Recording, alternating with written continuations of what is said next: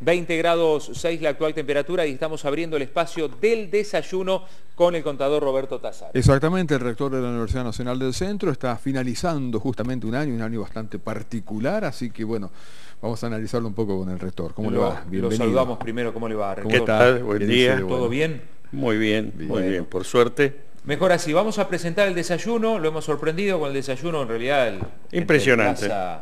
nos ha sorprendido. ¿Qué hay hoy, Rodolfo? Y hoy nos encontramos primero con bueno, ensalada de fruta, con jugo y por supuesto tenemos una serie de productos, medialunas, tenemos eh, budines, pasta frola. Pan blanco, eh, pan negro. Pan blanco, pan negro, también para untar este quesos, mermeladas, dulce de leche. ¿Saladita de fruta? Saladita de fruta. La verdad que espectacular. Mucho color. Sí, la verdad que está bárbaro. Kiwi. Eh, sí, claro, frutilla también. Eh, y un rico, un rico café. Bueno, todo esto del plaza, acuérdense que al mediodía 270 pesos el menú ejecutivo. Sí, señor. 270 pesos. El plaza, recordemos, va a estar abierto durante toda esta semana luego cierran hasta el Día de Reyes. Correcto, y esto tiene que ver con la remodelación, actualización permanente que se realiza allí en el Plaza Hotel, aquí eh, en la calle Pinto 438, frente a la plaza, y bueno, un lugar que podemos disfrutar incluso los tandilenses, eso es para destacarlo, no solamente para recomendarlo para quienes vienen a visitarnos, cuando nos preguntan, che, ¿dónde podemos parar en Tandil? Dame un buen lugar, bueno, el Plaza, pero también lo podemos disfrutar nosotros como tandilenses, todo lo que tiene que ver con los salones, restaurantes, eh, el desayuno mismo. Totalmente. Vale, vale la pena. Efectivamente. Bueno, así que aprovechar el plaza hasta el viernes, después cierran, siempre hacen reformas, aprovechan las fiestas para hacer unas cuantas reformas y nos sorprenden el 6 de enero con novedades en el plaza. Así que hasta el viernes vamos a tener estos desayunos, Roberto. Muy bien. Después, por dos semanas, va a ser más austero y después del 6 volvemos con estos desayunos. Tuvo suerte. Eso iba a decir, menos mal que vine ahora. y tiene la suerte de estar enfrente el rectorado. Sí, sí, nos cruzamos fácil. Ahí el plaza es un poco siempre se ve mucho docente, mucho profesor. Claro. Eh, es un poco sala de reuniones. Sí, siempre ha sido medio así, sí. Sí, sí. Es verdad. Bueno, Roberto, ¿por dónde, ¿por dónde arrancamos? Hablamos de balance. Sí. ¿Ha sido un año bueno? ¿Ha sido un año malo? ¿Ha sido... Ha sido un año. Ha sido un año. y ha sido un año complejo, muchas veces por la incertidumbre, que es una palabra que este, se usó bastante estos últimos años. Todavía se va a usar un tiempo más. De hecho, este, se ha resuelto que el presupuesto 2020 recién va a estar para marzo más o menos, con lo cual, bueno, vamos a manejar unos tiempos de, con alguna incertidumbre, pero bueno, finalmente, gracias al, trabajo de toda nuestra comunidad universitaria que nos permite generar reservas este, financieras y económicas, eh, estamos cerrando el año con un déficit que hemos podido manejar a través de eso, que se llaman recursos propios, lo que nosotros llamamos recursos propios, y son recursos que no vienen del presupuesto nacional, aunque muchas veces son del presupuesto de otras entidades nacionales o provinciales que nos contratan. El caso después voy a comentar, me hice un, listadito porque hacer el balance implica hablar de, muchas cosas y no tenemos un tiempo ilimitado. Roberto, ¿es habitual que, las empresas puedan, perdón, que las universidades puedan generar recursos propios? ¿Es algo habitual en todas las universidades o hay algunas que, eh, digamos, son más, más prácticas en esto? No, bueno, hay, este, hay algunas que tienen más, más posibilidades. La UBA, por ejemplo, es famosa porque tiene playas de estacionamiento, cobra, este, tiene ingresos importantes a raíz de, de las playas de estacionamiento, ni hablar de los trabajos a terceros que se hacen, obviamente, pero también sus necesidades son mayores. Pero en general todas tenemos este, esta, esta posibilidad de los recursos que tienen que ver, este, con, entre otras cosas, ¿no? con trabajos este, a terceros. Yo iba después a mencionar algunos que se han estado haciendo con el Estado Nacional, algunos con el Estado Provincial y otros con empresas. Eh, ¿Quiere aprovechar para nombrar algunos bueno, ahora? cómo no.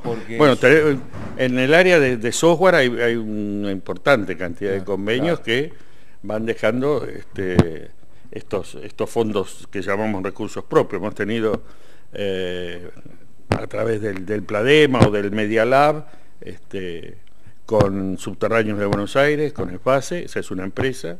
Hemos tenido con Educar, Sociedad Anónima, que es una empresa estatal, del Ministerio de Educación, un software que se está instalando en todas las escuelas del país, un software de toma de asistencia, que es el primer paso, este, y esos datos online van inmediatamente a una gran base de datos, y ahí se pueden bueno, ver qué chicos están faltando, preocuparse por cada uno de ellos. es un, es un enorme desafío que está muy avanzado en la provincia de Buenos Aires, ya llevan unas 900.000 escuelas. Sistema que se armó acá en, en eh, Sí, en Tandil.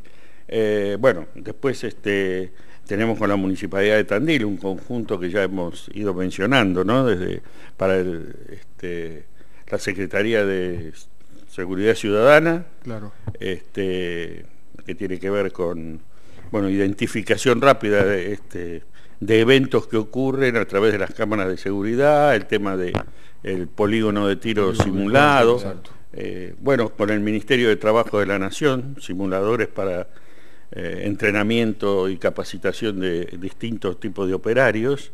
Lo mismo con la Cámara de Transporte Nacional, digamos, no, no, no, no camioneros, sino los propietarios serían de, de, camiones que también llevaron simuladores.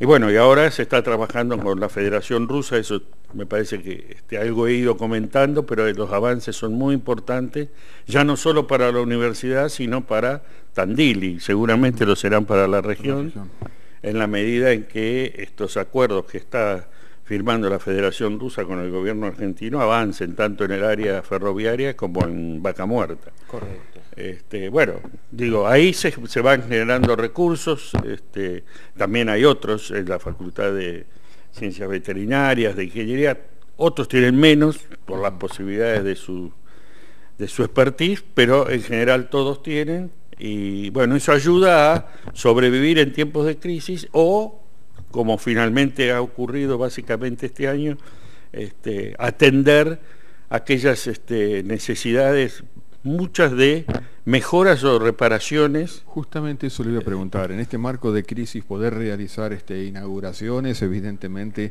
tiene que ver con una muy buena administración, ¿no?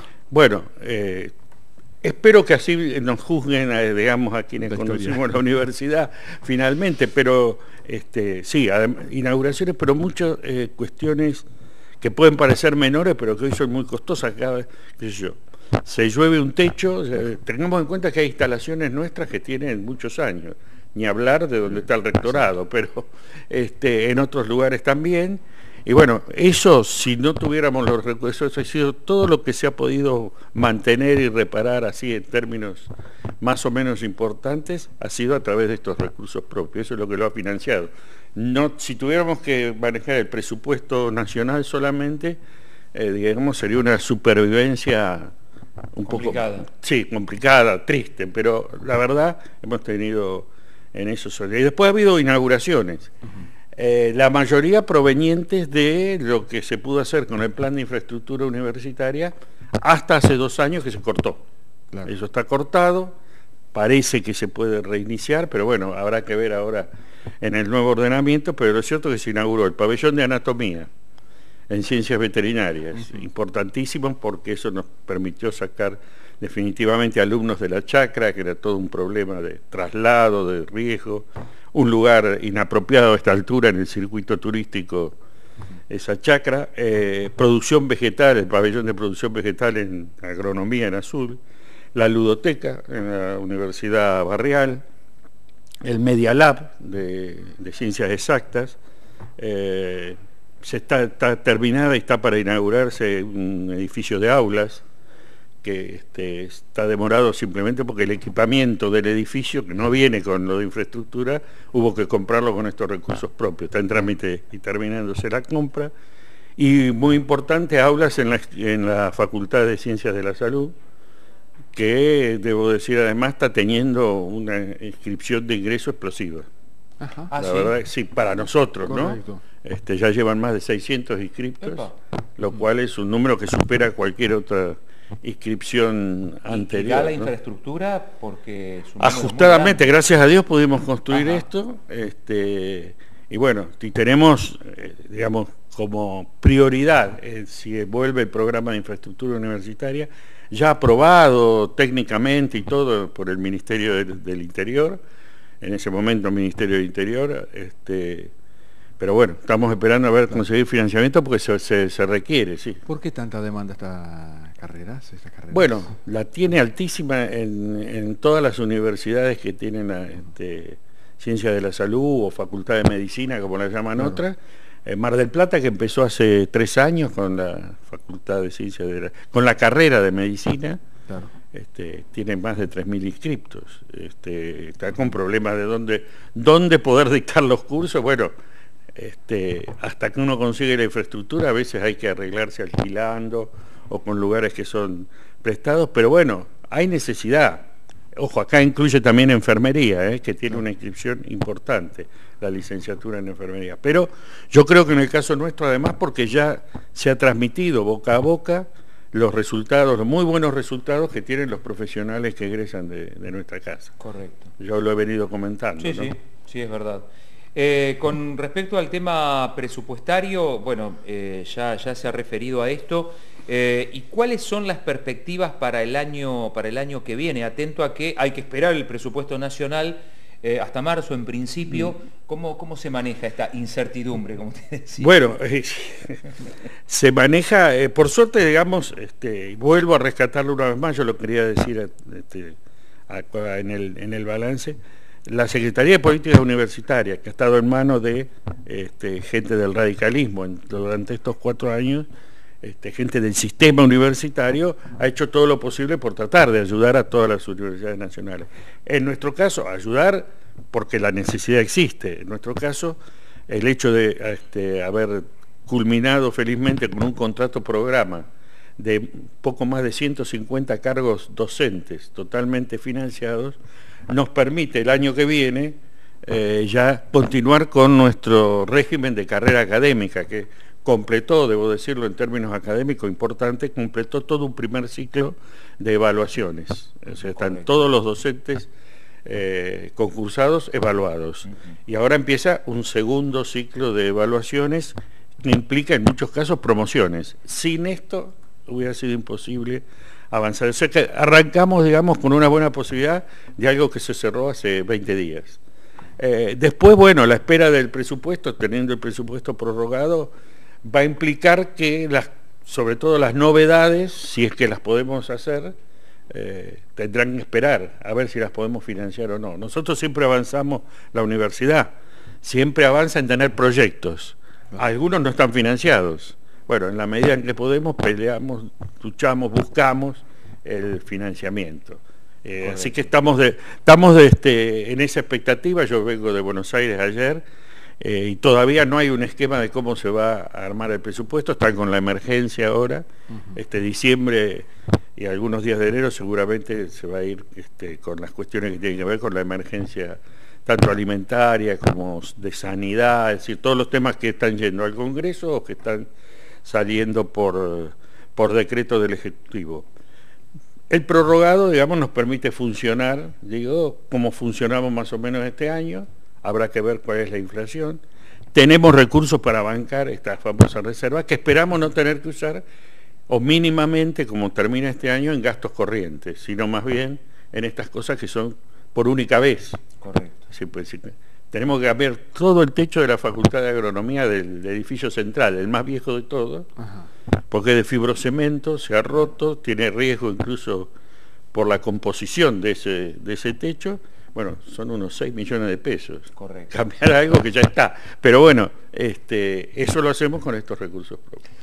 Eh, está Roberto Tazara. Dejamos algo para el próximo bloque. Rodolfo es el rector de la universidad. Sí, eh, me gustaría hablar un poquito de, Agra, de Abra TV, digamos, bueno, un poco los logros que han tenido, los avances que se han dado por allí en materia de comunicación. Y espié algo por ahí, no sé si hay novedades o va a haber novedades, espié algo ahí en el papel de, Pero antes nos damos una vueltita por Federación Patronal Seguros. Federación Patronal Seguros que le ofrece el combinado familiar para viviendas de uso transitorio. Una, mm, no sé, una casa quinta, un departamento que usted tiene en la costa, si no vive habitualmente ahí, no puede tener el, seguro combinado familiar tradicional, pero sí puede tener este seguro exclusivo, combinado familiar, para viviendas de uso transitorio. ¿Dónde? Y en Federación Patronal Seguros, ahí está Horacio Morrone, Mariana Morrone, Alberto Rico, Mauricio Serrano y un gran equipo que está para que usted eh, esté más tranquilo. Seguros para el hogar, seguros para el auto, para la empresa, para instalaciones deportivas, todo esto es Federación Patronal Seguros. ¿Eh? Un saludo grande para Horacio Morrone y para todo el equipo. Muy bien, 9 de la mañana, 7 minutos, continuamos el desayuno del día de hoy, bueno, compartiendo cosas ricas del Plaza Hotel y en este caso con el rector Roberto Tazara. Bueno, varios temas para conversar ahora, uno de ellos tiene que ver con Abra TV porque, bueno, hay novedades, se sigue trabajando fuerte por allí. Sí, sí, por suerte, bueno, más allá de, este, lo exitoso que fue el debate que condujo, con Liliana, exactamente. Con Liliana Claudio, este, hemos conseguido finalmente, a través de una financiación del Consejo Interuniversitario Nacional y una parte chica que tuvo que poner la universidad, poner al aire, tener la antena y poder poner en el aire a través de la televisión digital, eh, la TDA, este, o sea que aquellos que tienen conversores lo van a poder ver. Por ahora solo la señal de ajuste, porque eso lleva un, tiempo hasta poner en, condiciones la señal, pero vamos a estar en el aire finalmente, ya no solamente por streaming y estos métodos este, que tienen que ver con, las redes y con internet, eso estamos permanentemente, pero este, con una programación tipo canal, digamos. Este, así que bueno, eso nos da una, gran satisfacción porque es algo que venimos hace varios años tratando de ir paso a paso avanzando y mejorando y creo que lo estamos, lo estamos logrando. Ya en este último año de, mi gestión espero que podamos estar este, con el canal en el aire. Bien, bien, bien. Bueno, además eh, muchas producciones que se, han ido, que se han ido sumando precisamente generando un, banco de, programación muy grande. Muy grande. Además tenemos la red de universidades. Eh, pero sí, las producciones nuestras, incluso algunas que han conseguido premios. Sí, señor. De manera que este, estamos más que satisfechos. Yo quiero felicitar y agradecer a todo el equipo de, de Abra TV porque la verdad que hacen un trabajo no tienen los horarios convencionales que tenemos en la universidad por, por la característica de las producciones y del trabajo que hacen. Este, y la verdad que estamos muy, muy satisfechos. Bien, y María Salceda, que tuvo un gran reconocimiento al ser convocada desde Italia para formar parte de un jurado internacional realmente más que prestigioso. Exactamente, exactamente. Por eso digo, hay, distinciones este, importantes que, que, se han ido obteniendo y este, y es una apuesta más, lo dijo, creo, no sé si lo dijo en este discurso el intendente ahora, pero la industria de la cultura para Tandil creo que se habló bueno, en el momento en que firmamos lo del Teatro Cervantes, el comienzo de las obras del Teatro Cervantes, este, lo importante es que es la industria cultural para Tandil, la cantidad de puestos de trabajo que generan. En nuestro caso particular tenemos la carrera de teatro y la de realización audiovisual y muchas otras actividades, digamos, que eh, como el periodismo, que seguramente van a tener este, una ampliación a través de, estas industrias culturales. Correcto. Estamos con el rector Roberto Tazara. Bueno, vamos a señalar también que, eh, bueno, usted mencionaba en la pausa la importancia que eh, es la convocatoria que ha realizado el gobernador Kisilov para formar una institución que de alguna manera agrupe, que comunique a las universidades que tienen asiento en la provincia de Buenos Aires. Sí, me parece una gran iniciativa Creo que de alguna manera, evidentemente algo tenía ya el este, este, gobernador, en, su cabeza, porque en la pasada que hizo por Tandil, que pasó por la universidad, venía de Necochea, me acuerdo, iba a venir Fernández, incluso este, tuvo que ir de testigo a la justicia, y, este, y llegó Kisilov, eh, que es un hombre de la universidad, es este, investigador del CONICET, o sea, conoce el sistema, él mencionó que estaba con la idea de a lo mejor crear algo así como una, la Universidad de la Provincia. Le comentamos que en realidad hay muchas universidades ya nacionales y, tres provinciales en la provincia que trabajamos en redes. En el caso nuestro tenemos la red Rumbo, que son las del interior de la provincia, las del conurbano tienen también sus redes. Y ahí hablamos y él dijo, quizá lo que hay que hacer es una especie de consejo. Bueno, me sorprendió porque después este, yo tampoco me acordaba.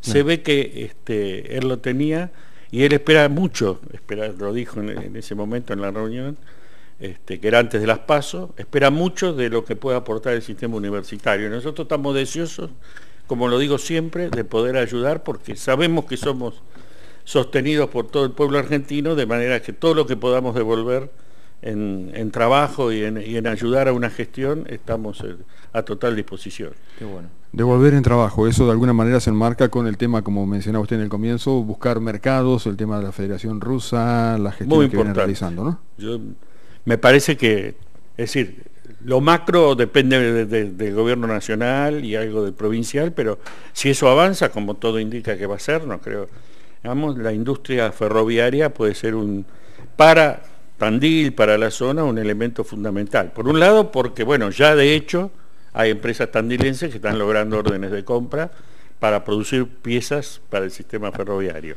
Ayer hablábamos con, eh, con Porreca, con Marcelo Porreca, que nos contaba bueno, cómo, cómo han ido avanzando y reconvirtiendo ¿no? la, cuestión. Exactamente, eso me parece que es todo una vía, por decirlo de alguna manera, con el sistema ferroviario, pero además hay mucho interés y bueno, vamos a ver cómo cómo lo toman las nuevas autoridades, todavía no hemos podido este, avanzar, ni tiene sentido hacerlo ahora que están con la emergencia, con el proyecto del desarrollo de los Interland del puerto de Mar del Plata, de Necochea y por lo que hablé con el rector de la Universidad del Sur, ese Bahía Blanca, también eventualmente el de Bahía Blanca, que son puertos provinciales, pero que en la medida en que llegue la logística tenga mucho que ver con el ferrocarril, se abaratan mucho los costos y se amplía el Interland y permite agregar valor a los productores de toda la zona y mejorar seguramente, digamos, en un proyecto que hay que desarrollar, pero que la empresa rusa, PMH, que es la empresa ferroviaria rusa, la que está instalada en Mechita, se mostró dispuesta hasta financiar el proyecto, que en sí mismo el proyecto es costoso, porque bueno, es todo un... Vamos a ver, hasta dónde llegamos. Este, tengo muy buenas expectativas de que esto de que esto avance porque se ven los resultados concretos. Eso para nosotros una alegría que empresas locales, a través de esta mesa de trabajo regional que tenemos, este, pueda, pueda avanzar. Así que ahí estamos, creo que eso, eso es de gran, de gran potencial para, entre las cosas del 2020. No son presupuestarias directas, pero sí me parece que son importante para Tandil y para la zona. Roberto, un tema no menor tiene que ver con todo lo que es eh, extensión universitaria. Eh, la cantidad de gente que participa de cursos, de talleres, tanto adultos mayores como la Universidad Barrial, que no son alumnos, si se quiere, eh, digamos, de las carreras de grado o posgrado, pero que están de alguna manera formando parte de la universidad. Bueno, eso sí, efectivamente. En total son más de 4.000. Sí, adultos mayores tiene más de 2.000 la barrial más de mil, los talleres de extensión cerca de, mil, pero además ahora adultos mayores ya lo desarrollamos en azul. Este año que recién empezamos y casi a mitad de año, este, ya hay 250 este, inscriptos en adultos mayores en azul, seguramente va a ser parecido cuando lleguemos a, a Olavarría. Es impresionante, cuando uno dice qué cantidad de alumnos tiene la universidad, y como mucha gente lo relaciona con el presupuesto, mal, digamos, ya lo hemos dicho muchas veces, gente que ataca a la universidad pública, no hablo de tandilenses, estoy hablando de, a nivel nacional. Es claro, pero nosotros tenemos después casi mil alumnos de posgrado, tenemos más de mil alumnos de pregrado con los maternales, jardín de infante, los dos secundarios, en Tandil y en Olavarría, más adultos mayores, tenemos cerca de 23.000 este, estudiantes de distintas categorías, más tradicional, menos tradicional, pero es impresionante. Y me parece que esa es una de las grandes satisfacciones, ¿no? Esto de que se abrió la universidad al pueblo, de que derribamos las, las paredes este, académicas que, muchas veces tenían encerrada a la universidad, que empezó con, Néstor Ausa en su momento básicamente, y que hemos profundizado y continuado, me parece que eso es muy importante. Correcto. Este, además, este, en, términos de, adultos mayores, además del hecho de que cursan, creo que tiene una cuestión que ver, lo dice la gente de la Facultad de Ciencia de la Salud, con la, con la salud y el bienestar de las personas, Exacto. que están, o si no están ociosos.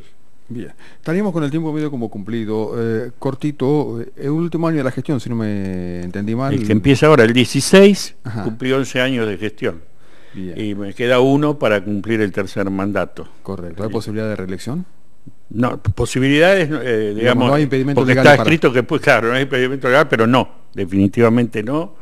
Este, yo estoy apoyando la elección de mi vicerrector, el doctor Marcelo Aba. Bueno, vamos a ver, lo decidirá finalmente la comunidad universitaria, pero me parece que venimos haciendo un buen trabajo y que podemos, este, lo va a presentar él, este, una, una idea de continuidad en muchas cosas y de eh, avances y siempre mejorando en otras. Así que este, ahí estamos, eso es lo que, lo que hay. Pero bueno, todavía queda un año, con, además de esto que conté de la Federación Rusa, de ver qué pasa con el presupuesto. Tengo, simplemente doy los títulos. Claro.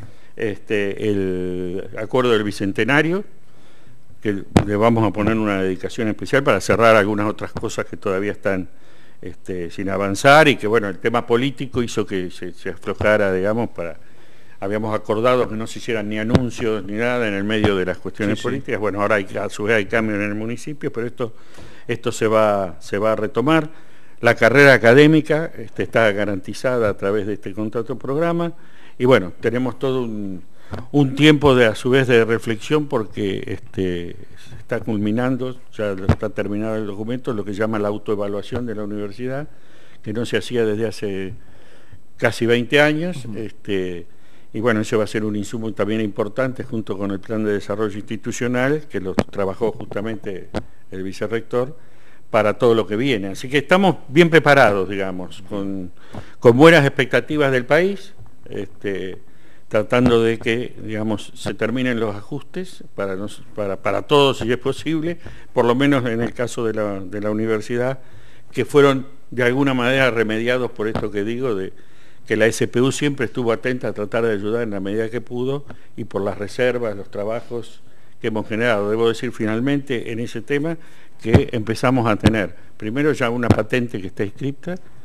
eh, y va a haber más, es un trabajo arduo, pero bueno, ya lo hemos aprendido con la primera, creo que ahora vamos a ir más rápido, y este, que hay ya este, dos spin-off, o sea, empresas que surgen de la universidad con nuestros graduados en convenio, este, se pudo poner eso en marcha y esto va, va a seguir creciendo también. Muy bueno. Roberto, gracias. Muy. Eh, A ustedes, a Feliz ustedes. Navidad, buen año y si Dios quiere ya nos estaremos encontrando Bueno. en febrero, calculo yo. Bueno, vamos a ver, sí, espero eh, que haya alguna novedad, digamos, ¿no? Este, yo quiero aprovechar para saludar a todo el pueblo de Tandil, particularmente, y de toda la región que abarca la Universidad del Centro, por el apoyo permanente, por la distinción que tienen siempre con nuestra universidad, eh, a toda nuestra gente, a toda la comunidad universitaria, que la verdad este, se ha trabajado muy bien en tiempos complicados, eh, en general a todos los claustros, a los gremios, tanto el no docente como el docente, a la Federación Universitaria de los Estudiantes, a todos los que trabajan, agradecerles el esfuerzo enorme que hacen por nuestra universidad, a ustedes y a toda la prensa, este, que son, este, siempre nos atienden, son una particular deferencia, así que, este, bueno, expectativas, expectativas nacionales y expectativas que se nos transmitan, este, vamos a encarar este, este 2020. Muchas gracias. Gracias, Feliz Roberto, Navidad, felices fiestas para todos. Gracias igualmente. Eh, Roberto Tazara, el contador Roberto Tazara, rector de la Universidad Nacional del Centro. Bueno, hemos hecho un repaso eh, rápido quizá, pero de lo que ha sido un balance de la universidad durante el 2019. Exactamente, un año realmente muy particular.